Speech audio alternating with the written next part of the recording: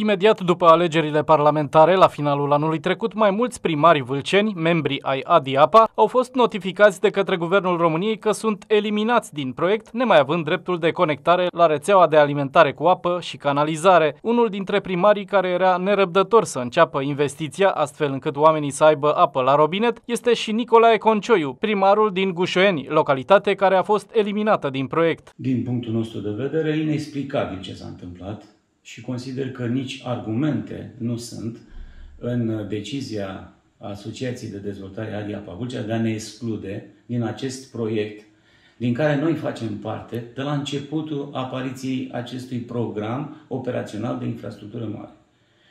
De, din anul 2014, de când uh, președintele Consiliului Județean era domnul Ion Câlea, Comuna Gușeni a avut repartizate sume de bani din cadrul acestui program de finanțare pentru înființarea sistemului de apă și sistemului de canalizare în localitatea Bușoeni.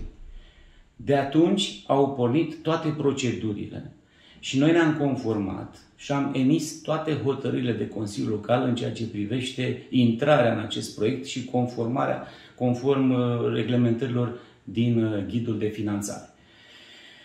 Până în septembrie 2020, toate erau așa cum au fost la început. Comuna Bușeni face parte din acest program, din acest proiect pe județul Vâlcea. Suntem fondatorii acestui proiect și era normal să rămânem în cadrul acestuia.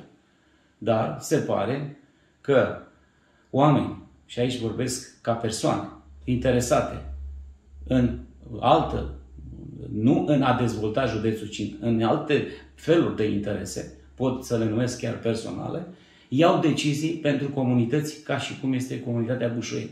Nu putem accepta ca acești oameni să decidă în numele nostru. Noi am decis când am pornit la drum și am rămas consecvent acestui proiect. Nu se poate să fim excluși și nu acceptăm lucrul acesta. Primarul este acum decis să se adreseze DNA și OLAF pentru excluderea localității Gușoien din acest proiect. Cu siguranță studiem foarte bine toată procedura care s-a derulat în acești ani. În acești ani au existat nenumărate întâlniri la ședințele de la Adia Pavulcea.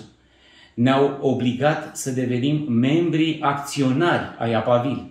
Plătim taxă de acționariat în Apavil. Plătim cotizație la Adia Pavulcea pentru faptul ca să promovăm în cadrul acestui proiect aceste investiții. Dar se pare că tot ce am făcut noi până acum n-a contat pentru unele persoane care au luat decizii în numele nostru. Și nu o să acceptăm. Am luat legătura cu juriști, cu avocați și o să intentăm în instanțele de contencios acțiuni și nu ne oprim aici. Constat pe zi ce trece că de fapt sunt oameni implicați și atunci decizia va fi mult mai dură. Vom face plângeri la OLAF și la DNA chiar personale unor persoane care le considerăm că sunt vinovate de acest lucru.